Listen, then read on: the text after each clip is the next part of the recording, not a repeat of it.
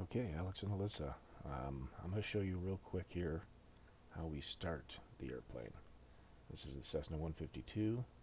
It's a great trainer. It's what pretty much 80% of all pilots learn on.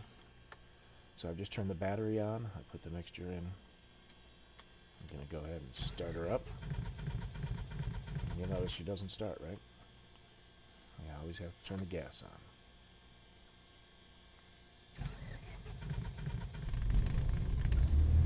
Okay, most important control in an airplane is the pitot heat.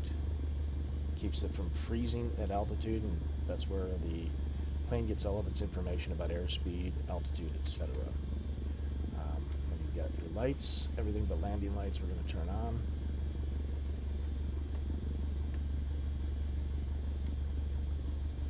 And I'll put my yoke back up there.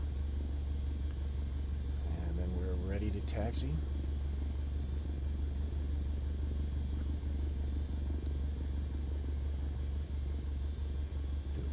The airplane. Uh, typically in real flight, we would do this. We would check all of our controls just by moving our joystick and making sure that they all work. And I'm going to go ahead and taxi to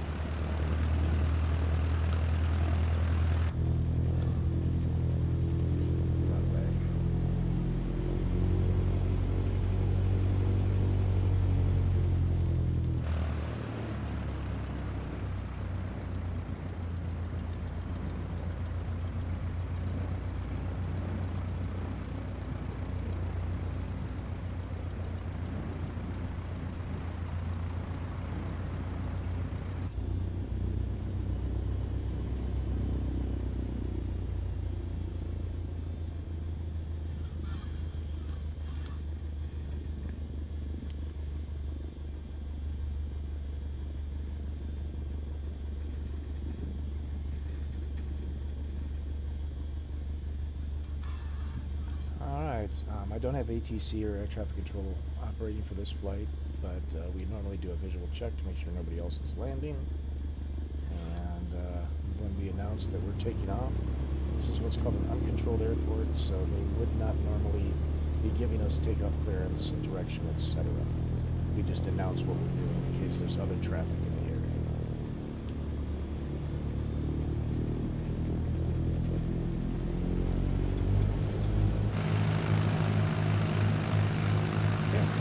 give us a little bit of flap here, about halfway down.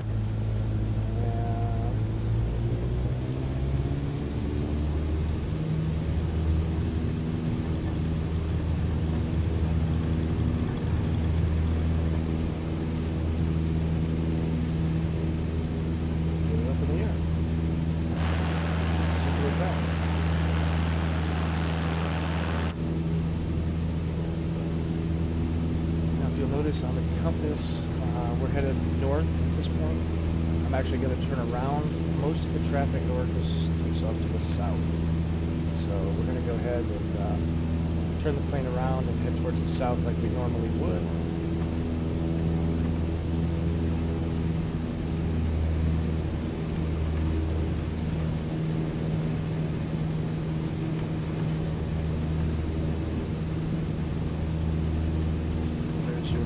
airport on Orcas Island. We are now headed south.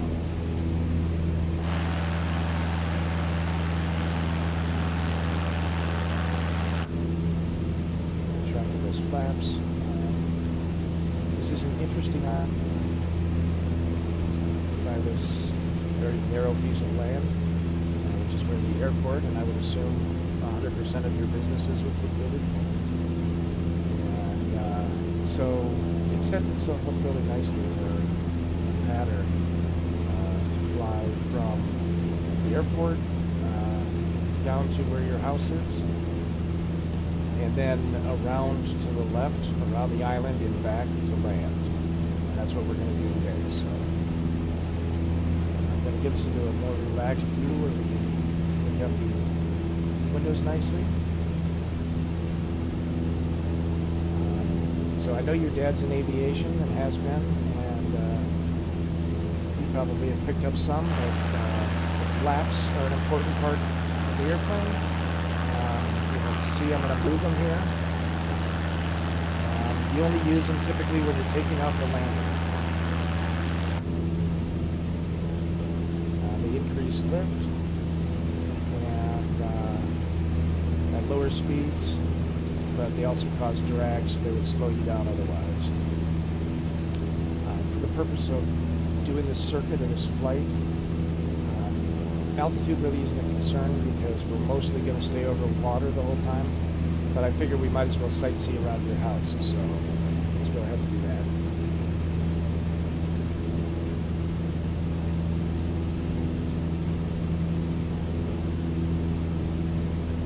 So normally if we just followed the water out to the end of the island there and took a left, and then continue to follow the shoreline, that would be a perfect path.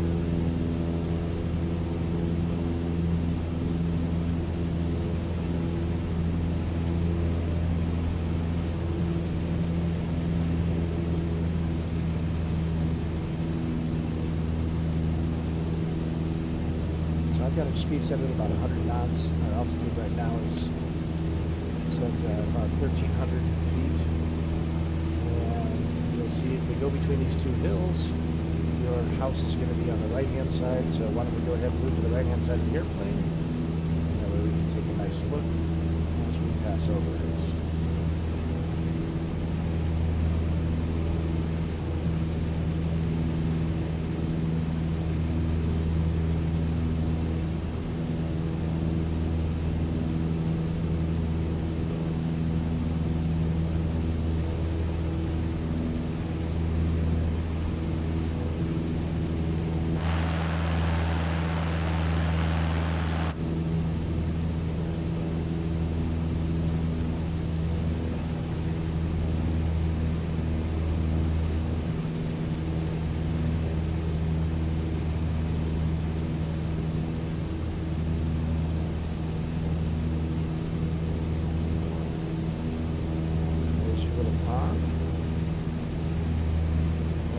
place of happiness there. What a place, huh? Alright, back over the pilot seat. Resume our normal path.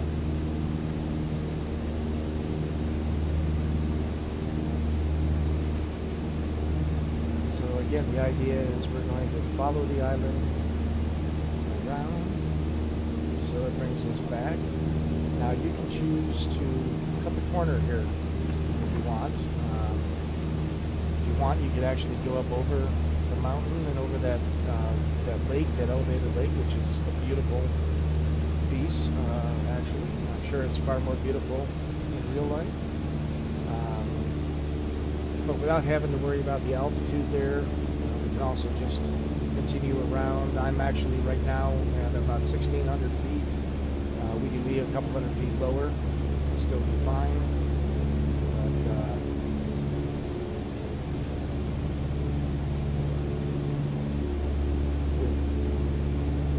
Follow the island like this, uh, it's a very well-defined pattern that you don't have to do any thinking on. So we don't have to worry about selecting a heading and staying on that heading for five minutes and then changing to this heading and taking that heading for five minutes. We know that if we follow the island around, it's going to bring us right back to the airport. And uh, typically, an airport, uh, the approach pattern is always going to be a left-handed pattern like this. That's you enter the pattern um, by the airport, and then you fly a left-handed pattern, and during that pattern you descend. You obviously make communication, you check everything, uh, get clearance or declare your clearance, uh, slow down, get the plane set for landing, and then eventually go ahead and land. And we're going to do all of that tonight as well. Uh, it's always a good time for sightseeing here. This, by the way, is the Orcas Island upgrade, which is available in the marketplace inside the sim. And I highly recommend it. I want to say it was around $20, which is pretty cheap as that goes. And I think the, whoever did it did an outstanding job. He obviously is a pilot, probably lives on the island, and uh, has some mad skills as well. But uh, it is better than the default. But the only thing this island lacks is beach. But uh, boy, it makes up for it just raw beauty.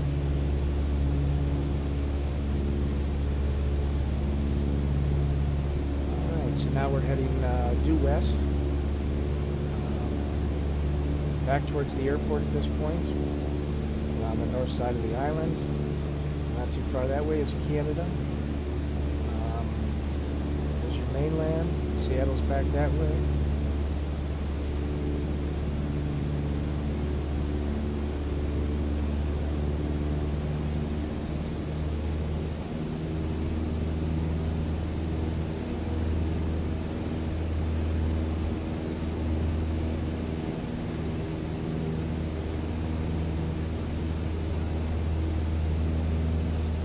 This reminds me a lot of flying around the Hawaiian Islands, which if you haven't done that yet, you guys should uh, most definitely uh, have some fun there.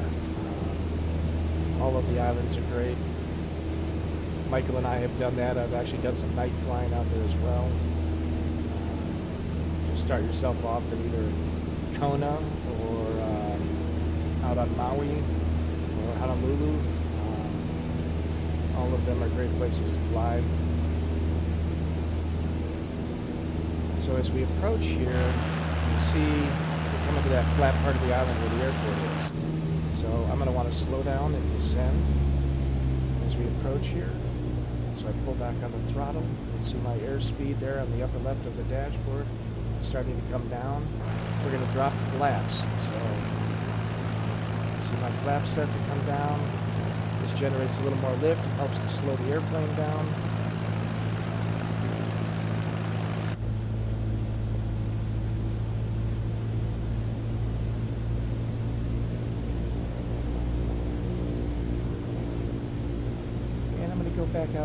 Water a little bit. Uh, you'll notice that the airport hugs this end of the little isthmus. Um, so when we go to turn on to final, we want we want some time to line up with the runway, and that requires that we go out over the water a little bit. Um, you'll notice as my speed came down, I also started losing altitude. In the center of the dash, just to the right of my yoke, is the vertical speed indicator, which right now is indicating negative 400 feet per second or per, minute. Um, that's how much we're going down every minute. And right above that is the altitude, which has dropped from 1,600 feet at this point down to 1,200 feet. Here's the airport right now coming up. Uh, you can start to see it. Zoom in on it there, the end of the runway right there by the water. And uh, so that's where we're going to land. Normally about now I would be uh, indicating my position to any other traffic around the airport. If there was a control tower, I would be asking them for permission for a full stop landing. And uh, but in this case, again, it's it's an uncontrolled airport, so I'm just announcing my position. And I would say something to the effect of uh, Cessna 152, Waco Echo Echo Echo Zuma Echo Lima, that's uh, coming in for a full stop landing.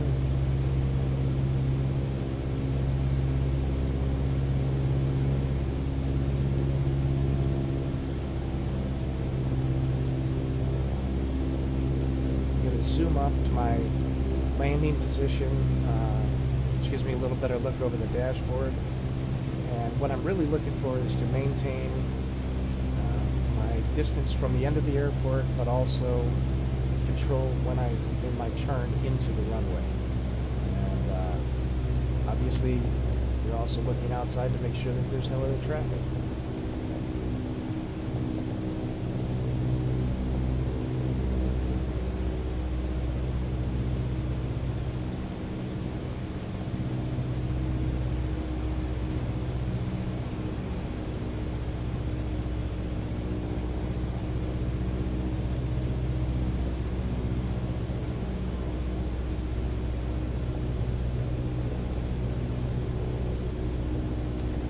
As I continue to lose altitude, I'm also bringing my speed down.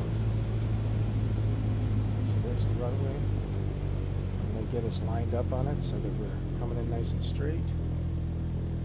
Control our descent and our speed. We want to touch down between 40 and 50 knots. Right now we're at 70.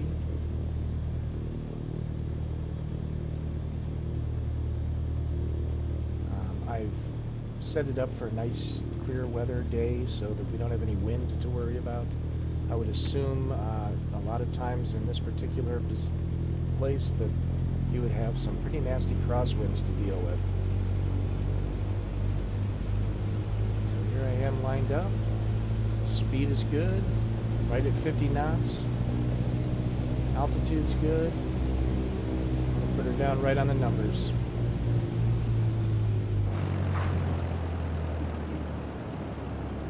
Alright, apply some brakes.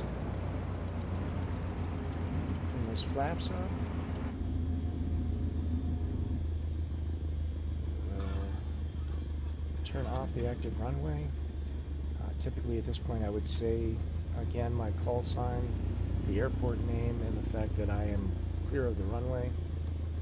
And uh, if I needed gas, I would go straight ahead there to the gas pumps. In this case, I'm going to take us over and park. Uh, you don't want to taxi too fast. Uh, it's not a sports car, but uh, you don't need to go super slow either.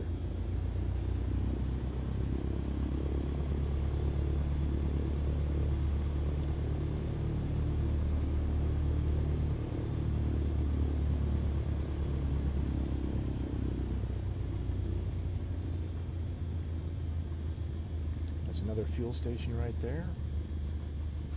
You'll notice we have uh, airport employees standing out here. So as we come in,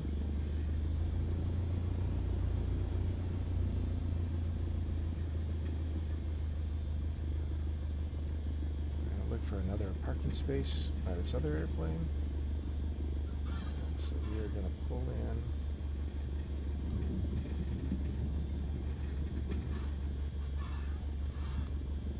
right here. I'm going to engage the parking brake. And we basically do the opposite of how we started it. Pull back to the mixture and turn off the lights.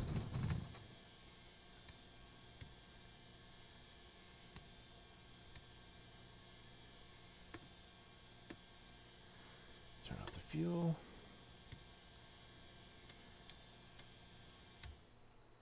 And that's the end of the flight. Hope you enjoyed it.